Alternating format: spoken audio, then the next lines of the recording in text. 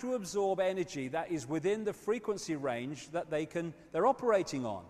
And they're operating on such a low band of, of, of, of reality and, and uh, uh, vibration that they can only observe, uh, uh, uh, uh, absorb low vibrational energy, which we give them through low vibrational emotional um, output, hate, fear, stress, all these things. Keeping us um, um, alive in this reality constantly the survival mechanisms.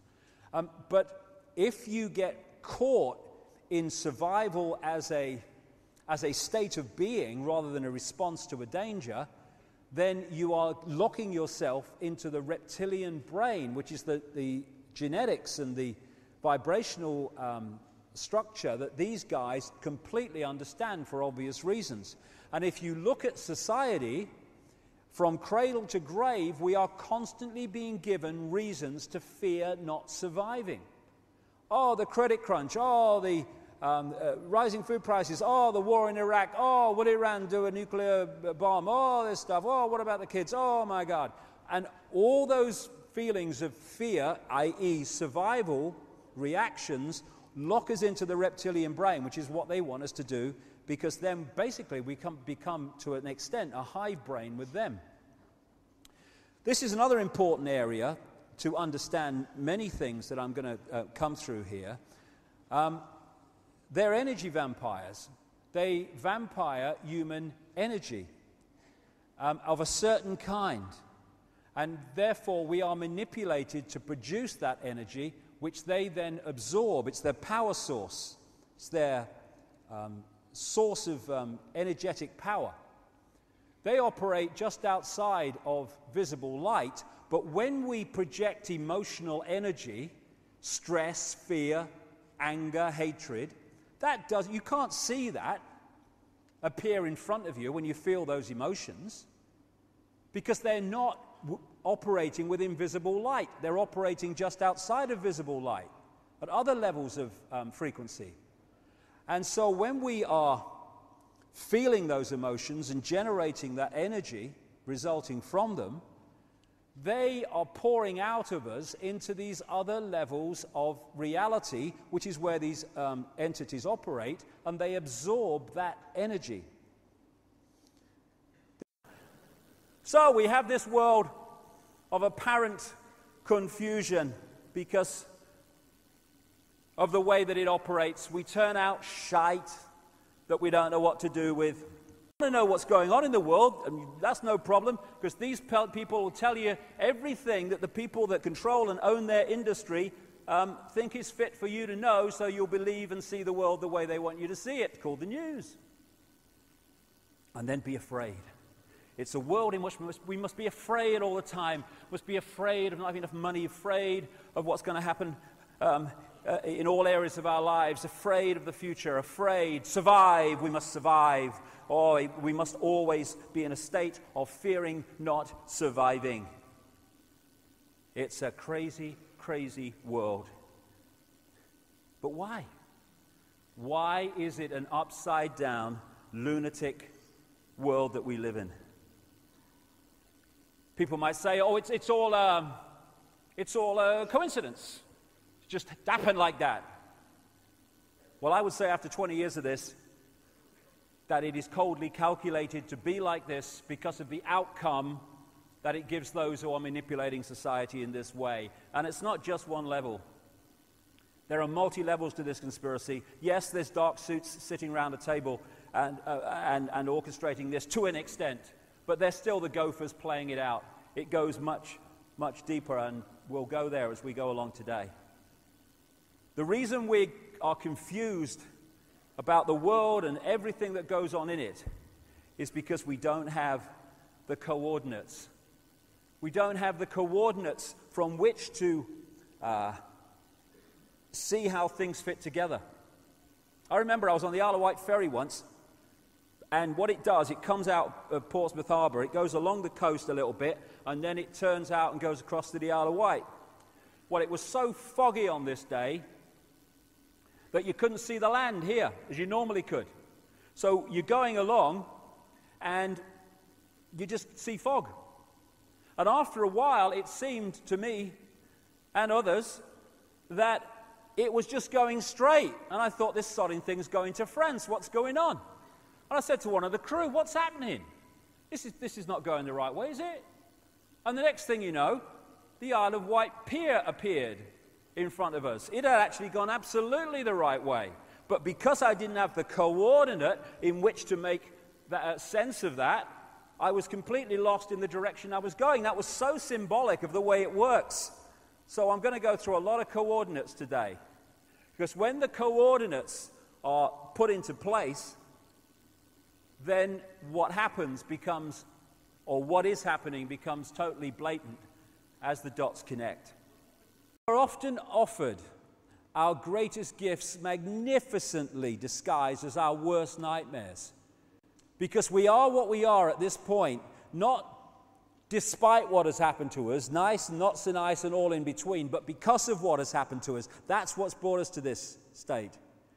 And there was a, there was a time in my life, like everyone else's life, when I was, um, uh, shall we say, aware of how people saw me.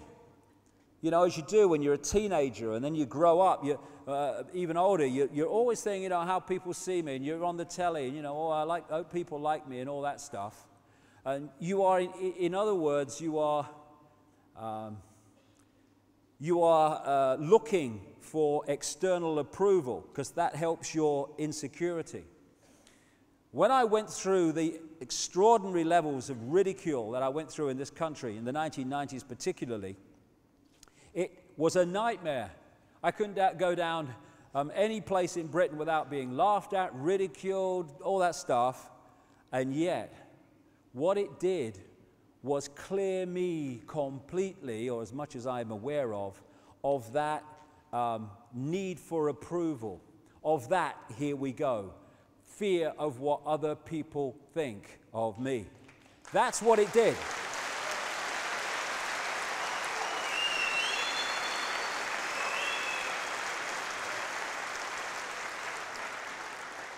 So, so many of the why me's, um, we really ought to ask.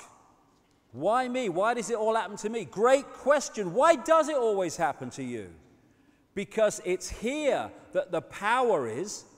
When we realize this is where the, the, the projection's coming from, then if we change this, the projection, the holographic physical experience, must change in line with the change in the projection and therefore our life changes. But it don't change out there, it changes in here.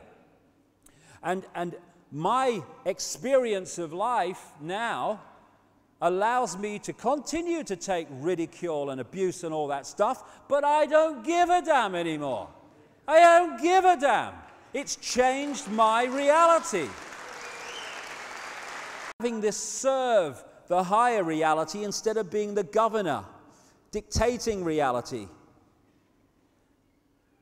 And to do that, we need to start being at peace with this terrible crime of being different.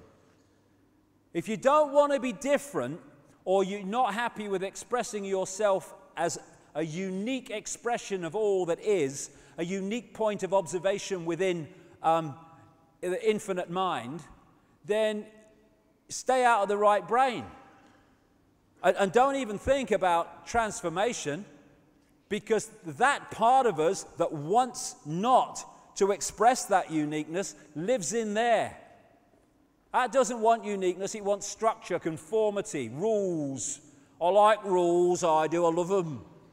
This wants to express uniqueness. This is me, I am me, I am free. I am a different uh, expression of all that is. So are you, pleased to meet you. What do we say? Who are you? Oh, I'm a coal miner. Oh, I'm a journalist.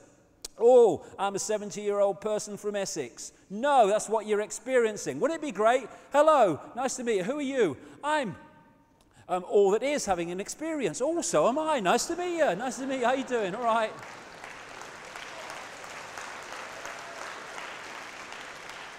That's what we are. So it's starting to let go this fear of being different, this fear of being different to the norm. Oh, what will my mother say? Or what will me the mates at work say? Or what if I do? Well, I tell you what, this is my view, just my view, okay? If they, mother, father, family, people at work, blokes down the pub, can't respect your right to express the full magnitude of who you are, Sodom, mate. What's Sodom?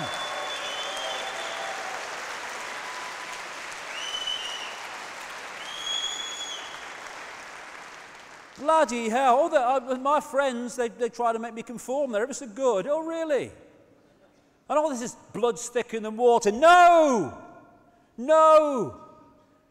Their families and, and parents and children and all that stuff, they can, they can have great connections and, and, and have a wonderful relationship. But just because they're parents and children and, and, and sisters and brothers doesn't mean they necessarily uh, do that. What we call brothers and sisters and all this stuff, they're holographic um, eh, uh, projections. That's what they are on this level. We are consciousness, they are consciousness. We're all one consciousness. It doesn't mean that, that one consciousness is more special or, or, or in relationship to another one. And so we have to conform to that one thinks because they're our parents. Sod that. Respect me, respect you. Everyone's a winner. Tell me to live the life you want me to lead, to lead uh, on your bike, darling.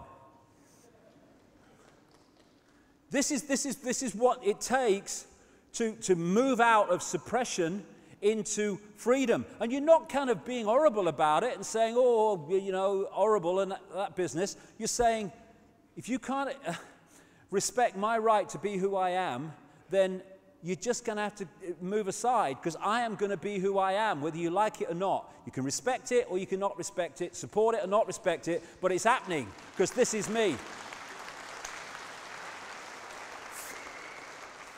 And it's, you know, it's amazing when you actually take these situations on, how other people around you actually do start to, to come towards you and say, okay, I'll see it. And if they don't, well, they don't. Fair enough. I'll see you on another dimension. We'll talk about it.